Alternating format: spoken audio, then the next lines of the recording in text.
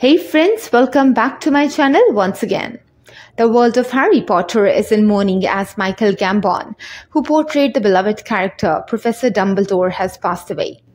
The news has prompted an outpouring of tributes from his co-stars, including Daniel Radcliffe, who played the titular character of Harry Potter.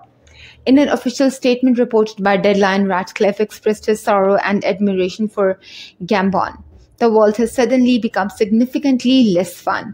Michael Gambon was one of the most brilliant and easygoing actors I've ever had the privilege of working with.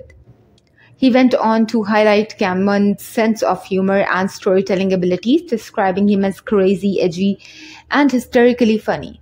Radcliffe fondly recalled working closely with Gambon during the filming of the sixth installment of the Harry Potter series. He said that Gambon made the hours spent in front of green screen more memorable and enjoyable than they needed to be. I'm so sad to hear he has passed, but I'm so grateful that I'm one of the lucky people who got to work with him, Radcliffe concluded. Emma Watson, who played Hermione Granger, also paid a tribute to Gambon in an Instagram story. She praised his humility and ability to deliver serious moments effortlessly. J.K. Rowling, the creator of the Harry Potter universe, also expressed her admiration for Gambon, recalling the first time she saw him perform in King Lear in 1982. That's all for now. Subscribe for more.